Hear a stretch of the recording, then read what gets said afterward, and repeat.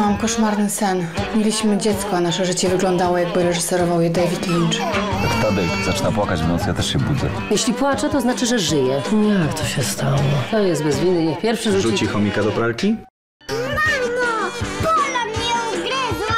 No to jej oddaj. Bycie rodzicem to niezła komedia. Od pół roku nasze życie to Bajka. koszmar. Nowy serial. Mamy to. W marcu tylko w playerze.